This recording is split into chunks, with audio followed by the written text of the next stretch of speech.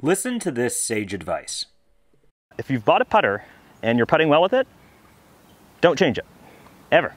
I bought this putter when I started playing golf seriously four years ago, and it has never left the bag. And now listen to this idiot. I kept my putter head, uh, the only putter I've ever had. It's a Scotty 5.5 Futura, uh, but I added this uh, stability shaft to it. More on that in a minute, but in the meantime, here I am playing my last round in the Bay Area before heading down to Southern California, where I was hoping for some better weather and indeed found it so be sure to follow along for my golf from down there. But today we're playing our last round in a lot of cold and wet, and I came down here from Canada hoping for good weather. I thought this was America, but it turns out it was still very Vancouver-like here, so I decided to tee it a bit forward for the final round, owing to the conditions.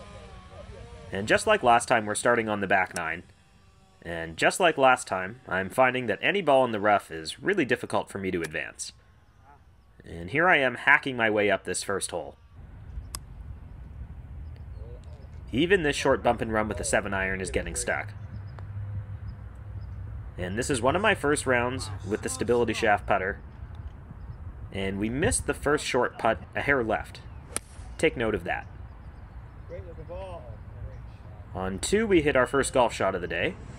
And we have about 10 or 12 feet for birdie. And we miss it short and left. Take note of that. This is a bit of a scuzzy one, but it does wind up in the middle of the fairway. But if you followed my last video, you've seen that I've done some really lousy things with three woods lately. And it seems that all of the long clubs are hooking and all of the irons are fading.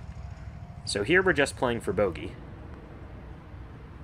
And we missed that putt to the left. Take note. This is my first decent drive of the day, but playing into wind, I grab an extra club here, and I try to step on it, and wind up hitting another nasty hook. You'll see some down trees throughout the course. San Francisco took a beating from a few rainstorms in late October, but they still kept Harding in pretty good shape. That lag putt isn't terrible, but note that it misses a bit to the left. Only a few months ago I really had my driver working, but with my mega inside takeaway, the miss when my timing is bad is to the left, and you'll see that I suffer from it again today. I was forced to pitch back into the fairway, and I'm not quite sure what that wedge was. This is a much better effort, and we'll have about 5 feet now, but we miss. To the left. Speaking of to the left, whoever makes the most clever Beyonce reference in the comments, I will appreciate you. That drive is missed to the left, and this approach is missed to the left. I thought I hit that wedge decently, but it actually rolls right past the pin. And that's the first putt we haven't missed left, and we tidy up for bogey. As I'm walking on to this tee box, I'm mostly thinking about this. That's Morikawa's drive from this exact tee box, and my best drive from this tee box leaves me 75 short. I'll take that. And this wedge is good, and I'll have about 12 feet here for birdie. But not quite. On 8, we take an ugly swing, but we get away with it, and this one will get on the green. And we miss the lag putt a little bit to the left. This is a strong contender for my worst drive of the day. I'm left with 205 in around a bend. And that's as best as I can do with a 4 wood. And even this pitch is pretty lousy. I wind up way on the front of the green here.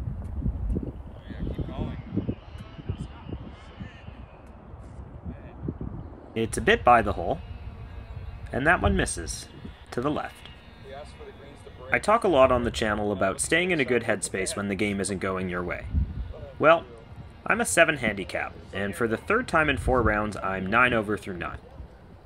But I'm not going to pout about it.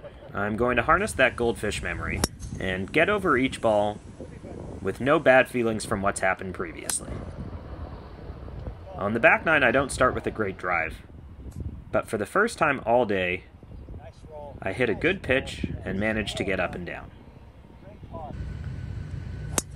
A question for those of you who have played Harding. Am I the only one who finds a few of these par 4s on the front 9, which I'm playing as the back 9, to be basically carbon copies of the same hole? My best shot of the whole day. There's a great bad shot, followed by a missed putt to the left. This is a great little par 3 playing uphill, and I grab a lot of club, but I fat it a bit, and I'll have a long, long lag putt here. I'd say pushing on about 80 feet, and I leave it at least 15 short, before missing this putt to the left. This par 5 is a huge dog leg left, and wouldn't you know it, my first driver missed to the right. This one was out of some very thick rough, so I'm not disappointed with that. And from about 180 here, this one does manage to catch a piece of green. This lag putt is a bit short, and I'll have about 3 feet here. I'm not even going to say it anymore. I mentioned that some of the par 4s on this 9 play the same, and this hole and the second hole in the back, I couldn't tell you the difference between them. And one way to avoid these horrible missed putts is by putting them close enough that even when you pull them a bit, they find the hole. That'll work, good ball. On 15, it's another scuzzy one that does wind up in the fairway. And grabbing an extra club here, I do find the green. And maybe I'm just fully mentally defeated by a lousy flat stick all day. Because it's a three putt with a miss to the left. On 16, I hit probably my best drive of the day. And this is my favorite pitch and putt number, but it doesn't quite find the front of the green today. And this putt through the fringe leaves me with some work to do. And guess which way this one misses. It's funny how the golf gods work, because this shot on 17 leaves me with about a 45 foot lag putt, and after all of the cruelty the golf gods dealt me, they seem to want to keep me coming back with a good lag putt here. There's a smother hook on 18, followed by a tippy And at this point, I'd really like to get to Southern California.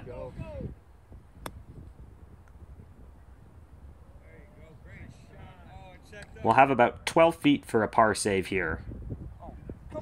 And wouldn't you know it, those golf gods are going to give me just one today. So that's an 85 that felt like it could have spiraled into a 90.